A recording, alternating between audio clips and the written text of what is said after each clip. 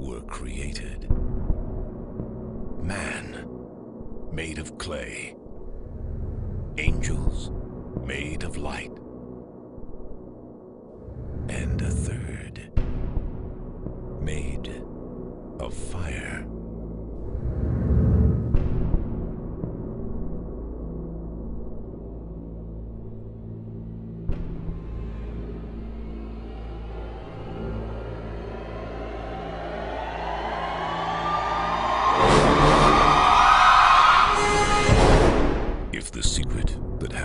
World has been keeping scares you, then close your eyes. For once you see their name, they will see you.